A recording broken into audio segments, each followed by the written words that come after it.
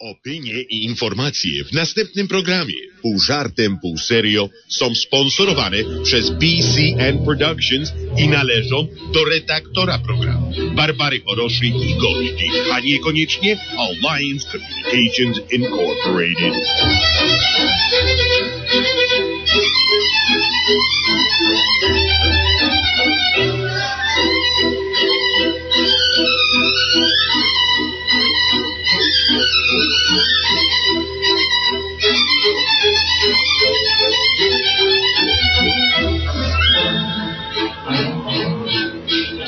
Dobry wieczór Państwu. Minęła godzina siódma i w środowym wydaniu programu Pół żartem, pół serio kłania się pięknie Barbara Choroszy.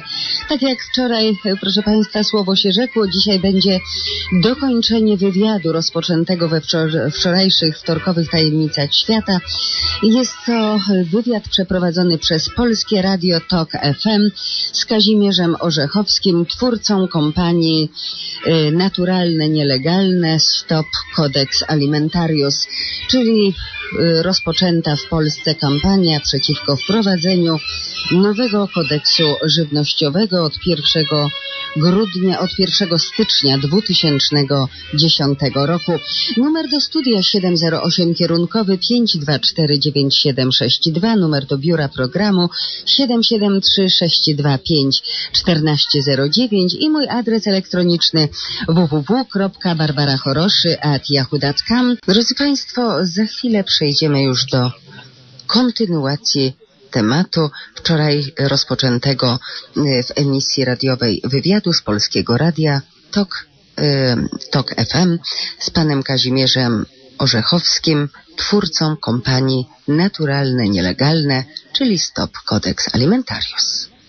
Komisja Kodeksu Żywnościowego e, zgadza się innymi na drastyczne ograniczenia minerałów, e, witamin, które są zawarte e, w no, poszczególnych produktach, no, właściwie w żywności, tak można powiedzieć szeroko. To jest kolejne ograniczenie. Z czego to wynika i z czego to się bierze i jak pan sądzi, dlaczego do tego dochodzi? I wreszcie, kiedy to prawo zacznie albo może zacząć obowiązywać?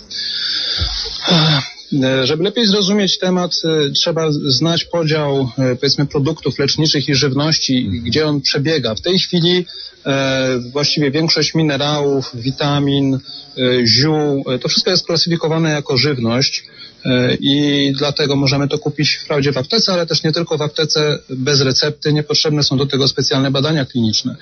E, Jedna z komisji kodeksu alimentarius e, od 15 lat mniej więcej e, ust, ustawicznie obniża dopuszczalne, dozwolone dawki, e, które e, nale, można stosować w produktach żywnościowych. Dawki minerałów, witamin, mikroelementów. Tak, tak, tak. To są maksymalne, aczkolwiek to są tylko wytyczne, tak? Natomiast to daje wielu rządom e, podstawy do tego, żeby w swoich prawodawstwach krajowych też obniżać te dawki, które mogą się znaleźć w żywności. Wszystko, co jest powyżej tego, no, musiałoby przejść e, jakieś badania kliniczne.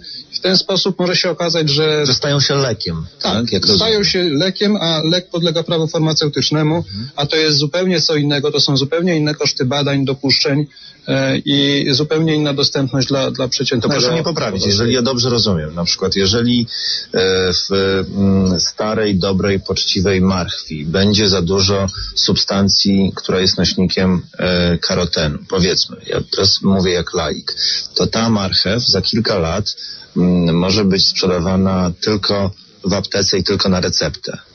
To, to, oczywiście to sprowadzam trochę do absurdu, ale tak to rozumiem, no bo jeżeli e, ta marchew będzie miała, rosnąca sobie gdzieś u kogoś e, w przydomowym ogródku, będzie miała więcej e, tej substancji niż dopuszcza Komisja Kodeksu e, Żywieniowego, to ta marchew w pewien sposób stanie się nielegalna. Żeby stała się legalną, musi być, stanie się jakby, mając więcej tych minerałów, stanie się lekiem i będzie mogła być sprzedawana tylko na receptę i w aptece. Oczywiście, jeżeli zostanie przetestowana, ale wiadomo, że nikt nie będzie testował, robił testów dla marchwi po to, żeby sprzedawać ją jako e, suplement diety, a może tak będzie, może się mylę, proszę mnie sprostować. No, faktycznie tutaj pan ważną rzecz też zauważył, że te poziomy maksymalne dawek minerałów, witamin są ustawione w tej chwili na bardzo, bardzo niskich poziomach, tak? Jedna duża marchew, tak naprawdę zawartość beta-karotenu trzykrotnie przekracza maksymalny dopuszczony poziom w suplementach diety. Oczywiście marchew jako taka nie jest suplementem diety, tylko jest produktem żywnościowym. Jeszcze. Mhm. Jeszcze i, i, ja zaraz też mogę troszkę to rozszerzyć, dlaczego jeszcze. Mhm. I ta marchew zakazana oczywiście nie będzie, ani zezwolenia nie będzie wy, wymagała. Natomiast można sobie wyobrazić i to widać, jak absurdalnie niskie są te poziomy e, dopuszczalne e, witamin i minerałów, e, że, że dochodzi do takich absurdów. Natomiast, no powiedzieliśmy, czy jeszcze. Przejdźmy teraz troszkę może do prawa Unii Europejskiej. To jest tak, że wytyczne kodeksu alimentarius, czyli tej komisji, ona się w skrócie nazywa kodeks, tak wszyscy ją nazywają, mocno są powiązane z dyrektywami Unii Europejskiej. Na przykład dyrektywa dotycząca suplementów diety, to o czym mówiliśmy, czyli o witaminach, minerałach, praktycznie w wielu fragmentach jest słowo słowo przepisana w e, ustaleniach kodeksu i w ten sposób może przenosić się na pozostałe państwa członkowskie WTO. E, natomiast inna dyrektywa Unii dotycząca produktów leczniczych stosowanych u ludzi w bardzo przewrotny sposób, ale też dla, dla nas, czy dla, dla konsumentów niebezpieczny, definiuje, definiuje, co to jest produkt leczniczy. Mhm. Są dwie definicje, ja może bym podał y, jedną, y, natomiast to pokazuje, że marchew faktycznie też może nią być. To jest jak, jakakolwiek substancja lub y, połączenie substancji prezentowane jako posiadające właściwości lecznicze lub zapobiegające chorobom u ludzi. E, no, marchew... Jeżeli w marchwi będzie jakiś ma beta-karoten, tak? Można powiedzieć, że ten beta-karoten... Może być substancją leczniczą. Może być substancją le leczniczą e, i e, tak naprawdę w pewnym momencie Komisja Europejska, mając taką, e, no, taką dyrektywę wdrożoną w różnych krajach, może uznać, że no, może marchew to nie, ale na przykład taki czosnek, tak? Mhm. Czosnek e, je, no, jest często stosowany jako, jako e, produkt leczniczy do, do leczenia i może zostać to uznane, że czosnek, przepraszamy, ale jest produktem podlegającym specjalnym regułom czy produkcji farmaceutycznej, przetwarzania czy sprzedaży, i rejestracji, tak? Będzie sprzedawany tylko jako suplement, tak? Czy jako suplement, czy będzie podlegał pewnym specjalnym y, regulacjom, tak? Może zostać uznany za produkt leczniczy. Jeżeli zostanie uznany za produkt leczniczy, to nie. Nie będzie sprzedawany jako suplement, tylko będzie sprzedawany jako, jako lek, jako, lek, jako środek farmaceutyczny.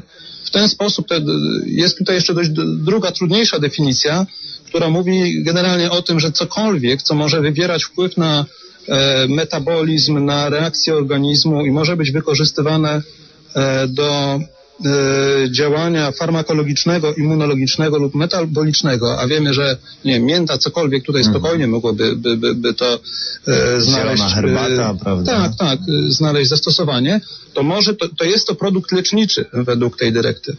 Ta dyrektywa na dodatek E, ma jeszcze jedną bardzo groźną e, rzecz sobie zapis, tak zwaną klauzulę, klauzulę dominującą, to jest artykuł drugi, e, punkt drugi, która daje nieograniczoną władzę w przypadku wątpliwości nad każdym innym prawem europejskim, nawet ustanowionym, wcześ, ustanowionym wcześniej. Czyli jeżeli jest pewna wątpliwość co do klasyfikacji produktu, to ta dyrektywa może objąć to i wyłączyć jednocześnie wszystkie prawa lokalne europejskie. No są to zapisy bardzo groźne i E, czemu one tam się znalazły w tej chwili? Ja myślę, że to nie jest nawet czas i miejsce, żeby tu rozstrzygać. Ja myślę, że to, co jest ważniejsze, e, to uświadomić e, państwu i powiedzmy szerszemu ogółowi, jakiego typu ograniczenia już są zapisane w prawie i mogą się materializować z kolejnymi datami, no i jakie są proponowane, z którymi też należałoby coś zrobić. Mhm. No i między innymi e, w tym celu powstała strona naturalne nielegalne.pl, gdzie można uzyskać więcej informacji, dowiedzieć się na przykład, e, dlaczego kodeks e, ma wprowadzić tak drastyczne obniżenie maksymalnych dozwolonych dawek witamin i minerałów. Wszystko wygląda to na mm, pewnego rodzaju świadome działanie na rzecz no, pewnych firm, koncernów, które mogą dzięki takiemu prawu czerpać spore korzyści. Pan już zwrócił uwagę na wielkich producentów żywności, na masowych producentów żywności, ale można też pójść dalej tym tropem i mm, wskazać na e, koncerny farmaceutyczne, które no, będą korzystały z tego, że ludzie mm, w naturalnej żywności będą spożywali mniej witamin, które są niezbędne dla zdrowia, zatem będziemy coraz mniej odporni, będziemy coraz częściej zapadali na choroby, ergo będziemy musieli się częściej leczyć. Jest to jedna z tez i można to tłumaczyć na wiele sposobów. Dla mnie takim najprostszym i pierwszym wytłumaczeniem, e, jeżeli nie wiadomo o co chodzi, to wiadomo, że chodzi o pieniądze, tak? E, Spójrzmy na to tak. Jeżeli granica między lekami a żywnością jest przesuwana na korzyść leków, e, to te leki muszą być przebadane klinicznie, rejestrowane i to są naprawdę duże kwoty, nie wiem, 50-100 milionów dolarów.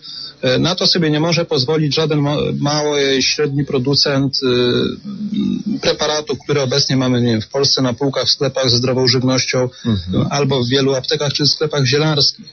E, Czyli ta zdrowa żywność miałaby się za chwilę stać e, po prostu lekami. W związku z tym e, każdy taki preparat zdrowej żywności musiałby być testowany, żeby mógł być legalnie sprzedawany. Więc istnieje zagrożenie, że te naturalne e, preparaty mm, mineralne zostaną po prostu zakazane, tak? E, tak, inaczej. Naturalne e, preparaty mineralne i witaminowe w dawkach, tak, w dawkach, które mają jakiekolwiek.